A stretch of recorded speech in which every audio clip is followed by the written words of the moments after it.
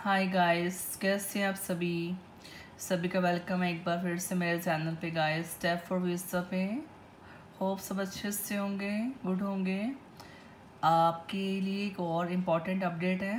कुछ गाइस को पता होगा, कईयों को मे भी ना पता हो तो मुझे था मैं ये अपडेट आपके साथ शेयर करूँ गाइस ओके तो आपको जैसे स्क्रीन पे मेरे नज़र आ रहा होगा, मैंने सारा इस पर डिटेल्स दिया हुआ है गाइस तो आपको पता चल गया होगा, आज हम किस के बारे में डिस्कस करने वाले हैं ओके तो सबसे पहले जो चैनल पे फ़र्स्ट टाइम आए हैं वो चैनल को सब्सक्राइब करें बेल आइकन को दबाएँ, ताकि आपको मेरी हर लेटेस्ट नोटिफिकेशन का अपडेट गाइस आ जाए और वीडियो को गाइस ज़रूर लाइक किया करें और शेयर करें, ताकि ये सबके पास इन्फॉर्मेशन पहुँचे गाइस तो चलिए वीडियो स्टार्ट करते हैं। आज हम बात करने वाले हैं गाइस माल्टा वर्क वीज़ा के वीज़ा फॉर्म के बारे में, ओके? जो कि चेंज हो चुका है, ठीक है? तो ये सबसे अहम रोल अदा करता है हमारा visa form guys okay? Visa form जो होता है, बहुत ही मेन डॉक्यूमेंट कहा जाता है। तो इसमें कोई भी कोताही, लापरवाही नहीं बरतनी चाहिए, ठीक है? तो मैंने देखो नीचे स्क्रीन पे सब दिया हुआ है कि रॉन्ग फॉर्म और राइट फॉर्म तो जैसे हम नीचे चलते हैं, ये देखिए, पहले था ये फॉर्म गाइस ये देखिए, पहले हम ये फॉर्म भरते थे जहाँ रॉन्ग फॉर्म लिखा है, ये फेल होता था माल्टा वर्क वीज़ा के लिए। अब जिन्होंने भी ये फॉर्म भरा हुआ है, या उनको लग रहा है ये फॉर्म भरा जाएगा ओके या अगर किसी एजेंसी से एजेंट से अप्लाई किया है तो वो भी ये चेंज कर दें फटाफट। वैसे तो अपडेट सबको मिल गया होगा बट फिर भी, मुझे अपनी तरफ़ से फिर भी बताना होता है कि लेटेस्ट जो चेंज हुआ है। ये गाय स्ट्रॉन्ग फॉर्म हो गया। ओके मीन्स नॉट एप्लीकेबल है। ये फॉर्म नहीं एक्सेप्टेड होगा। तो चेंज हो गया फॉर्म तो गाय सो इस तरह का है। ये देखिए। इसके बारे में हम फुल फॉर्म पे भी जाएँगे अभी। तो जी, देखिए, दोनों का डिफरेंस क्या है? ओके मीन्स जिसपे यूरोप का लोगो था फॉर्म पे, वो अभी नहीं यूज़ होगा गाइस बस मेनली ये इसका है। ये देखिए, बाकी और भी डिटेल्स चेंज है। ये देखिए, यूरोप का लोगो वाला फॉर्म नहीं यूज़ होगा, ठीक है? तो गाइस आपने जो राइट फॉर्म पे टिक है, वो फॉर्म आपने यूज़ करना है ओके तो चलिए चलते हैं कि ये फॉर्म कहाँ पे है, कैसे है, देखते हैं। हम साइड पे जाएँगे वी की। गैस ये देखिए वी की जो है ऑफिशियल साइट है, ये देखिए वी ग्लोबल मैंने ओपन किया हुआ है। आपके उसकी ऑफिशियल साइट पे वर्क परमिट एक्सटेंडेड सर्विस जो कि आज का हम जो अपॉइंटमेंट ले रहे हैं फ़ाइल सबमिट करवा रहे हैं तो इस कैटेगरी में करवा रहे हैं गाइस ओके तो इस पे जाके आपने जाना है डाउनलोड फॉर्म्स पे, और उसका लिंक गाइस ये रहा। ये देखिए visa dot V F S global dot com slash one hyphen pager slash Malta slash India slash English ठीक है? गाइस ये देखिए लिंक है। और इस पर आपने ये सिलेक्ट करना है इस पर वीज़ा एक्सटेंडेड सर्विस ओके तो उसके बाद देखिए डाउनलोड फॉर्म्स पे गए तो हम वीज़ा एप्लीकेशन फॉर्म पे जाएँगे। जैसे हमने इस पर क्लिक करेंगे तो गाइस ये देखिए, ये फॉर्म खुल जाएगा, हमारा लेटेस्ट फॉर्म जो हमने वीज़ा एप्लीकेशन के लिए फ़ाइल करना है फिल करना है गाइस ये देखिए।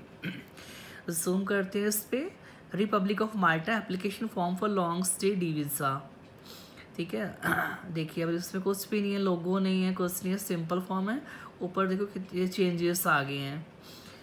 ओके भरना वही है ऑलमोस्ट सेम जैसे वो भरते हैं, बस फॉर्म ये वाला यूज़ करना आपने। ये देखिए, सब डिटेल्स सेम वैसे। ये देखिए, सारा फॉर्म ऐसे भरना है आपने। ये सारा फॉर्म देख लीजिए। ये सारे कॉलम देख लीजिए। ये देखिए, सारा फॉर्म तो मेक श्योर sure आपने ये वाला फॉर्म भरना है, जिसको नहीं पता और जो न्यू पर्सन है, जैसे जिन्होंने वीज़ा माल्टा के लिए स्टार्ट करना है लाइक अप्रूवल एंड प्रिंसिपल की वेट कर रहे हैं, उसके बाद वो वीज़ा फ़ाइल करेंगे। तो गाइस ये वीडियो ज़रूर फॉरवर्ड करिए उनको भी, जो आपके खास हैं कुलीग्स हैं फ्रेंड्स हैं। तो ताकि ये इन्फॉर्मेशन उनको मिल सके कि आप ये वीज़ा फॉर्म यूज़ होगा गाइस पहले वाला नहीं यूज़ होगा ओके ये देखिए। ये सारा फॉर्म देख लीजिए। चेक कर लिया।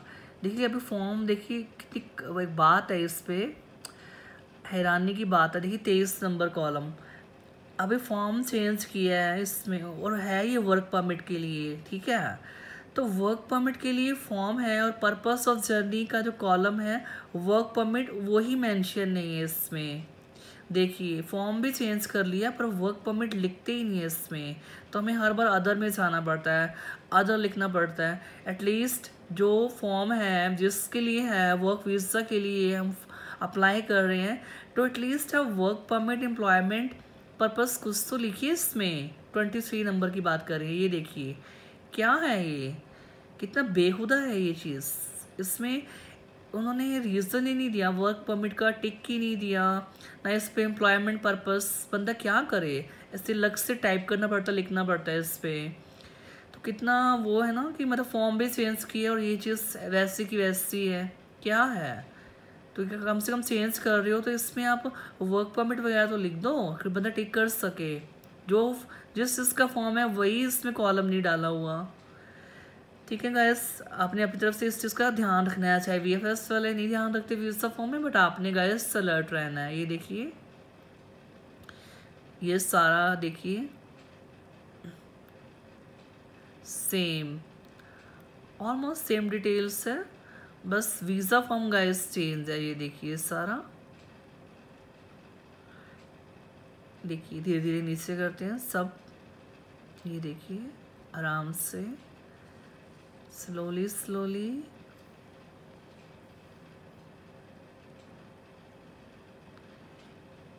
ये देखिए। ये सारा एक्नोलेजमेंट आ गया नीचे।